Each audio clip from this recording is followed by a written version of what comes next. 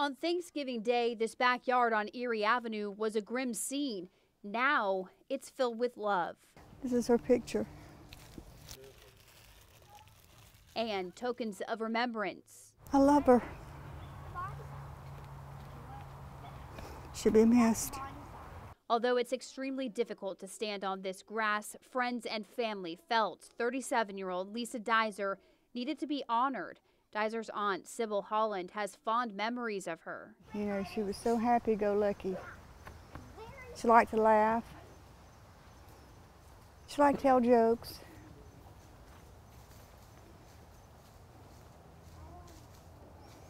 Just, she was a very sweet girl. And I love her very much. Dizer is a mother of two. Her children were at the vigil tonight, both too young to fully understand what's happening. I told them that mommy's going to heaven. I, do, I don't know how to explain. You know, they keep asking, but that's all I can say, you know. Ramil Ponce, Dizer's husband, say they were separated at the moment but remained very close. They even talked about getting back together for the kids. One thing I know with Lisa,